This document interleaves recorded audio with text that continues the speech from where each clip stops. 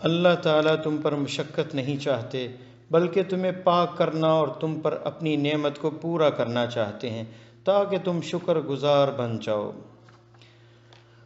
अल्लाह ताला की अपने बंदों पर रहमत है कि उसने मोज़ों और जराबों पर मसा करने की इजाज़त दी है और वज़ू में पाँव धोने के बदले में।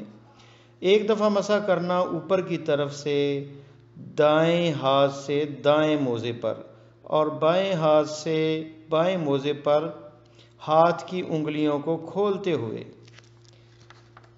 पाँव की उंगलियों से शुरू करते हुए पिंडलियों की इब्तदा तक दोनों पर एक साथ या दाएँ और फिर बाएँ को मसा करें। इस मसला में आसानी है। इस शर्त के साथ कि मोज़ा पाक हो, नजासत से और पाँव को मुकम्मल ढांपने वाला हो। मसा करने की मुद्दत मुकीम के लिए एक दिन और रात है और मुसाफिर के लिए तीन दिन और तीन रात है। और मसा करने का हिसाब पहली दफ़ा मसा से होगा, वज़ू टूटने के बाद से। मिसाल के तौर पर अगर वज़ू टूट गया नौ बजे सुबह और वज़ू किया बारह बजे और मसा किया मौज़ों पर तो मुद्दत का हिसाब बारह बजे से होगा।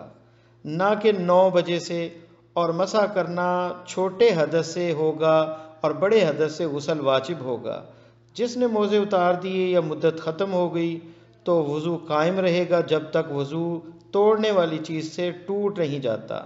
अगर दोबारा मसा करना चाहता है तो वाजिब है कि मुकम्मल वज़ू करे और उसमें पाँव भी धोए, फिर मोज़े पहने।